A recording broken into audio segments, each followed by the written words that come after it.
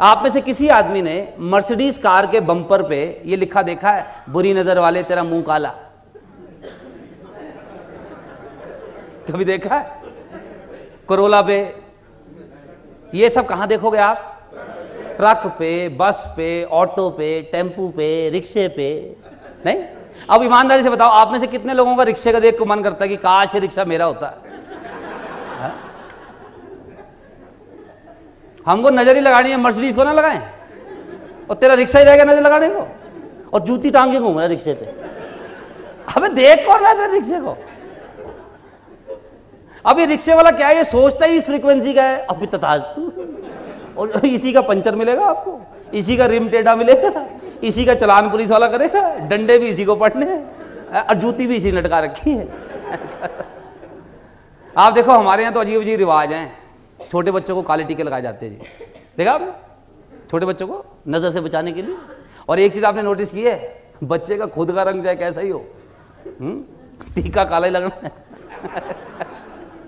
कईयों को तो मैं कहता हूँ इसको आटे का लगाओ यार। थोड़ा कंट्रास्ट नज़र तो आए इनको नज़र बड़ी लग रही है, है? मज़ाक नहीं कर रहा। आज ये जो टाई वाई पहन के आए हैं इनको घर पे कहोगे थोड़ा काला टीका लगा लो। हाँ कहीं आपको नज़र ना लग जाए वो शाहरुख खान अपने सारा दिखा रहा वो। ये खोल खोल के कि देखो उसको नहीं लग रही नज़र? आ, उसके सिक्स एब्स हैं पता ना आपको? सिक्स एब्स हमारा ऐब है एब और इस पे भी नज़र लगती है। और अब क्योंकि हम इस लेवल का सोचते हैं तो होता भी है। एक बड़ा गरीब आदमी है जी आपने नाम सुना होगा उसका मुकेश अंबानी। सुना नाम अपने लिए बड़ा छोटा सा घर बना रहा है जी वो। सिर्फ़ सत्ताईस मंजिल का। खर्चा सिर्फ़ आठ हज़ार करोड़। सिर्फ़। घर में सदस्य छह। दो फ्लोर पे खाली पार्किंग होनी है।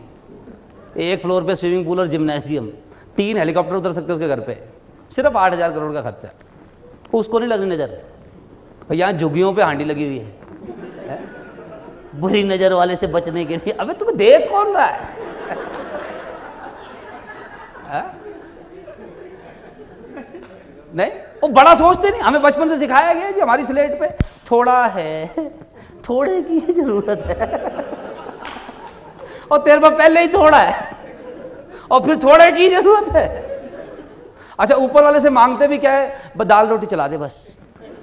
ऊपर वाले तो था तू दाल रोटी चलेगी, मक्खन कभी नहीं हुआ इज़ इट नॉट मैं आपको आज एक गोल्डन रूल बता रहा हूँ, एक चीज़ ध्यान रखिएगा। ओलंपिक्स में जो ये तीरंदाज होते हैं ना, तीरंदाज, जो उसका निशाना है ना, सटीक निशाना, जहाँ वो मारना चाहता है, जब वो निशाना लेता है ना, हमेशा उससे थोड़ा ऊपर लेता है। क्यों? क्योंकि जब तक तीर छूट के निशाने तक जाएगा, तब तक ग्रेविटी भी काम करती है ना। तो थोड़ा तो नीचे आएगा ही, वही वहाँ जाते जाते और फट, निशाने पे लगता है। तो यानी ask for more ask for more life से ज़्यादा मांगो।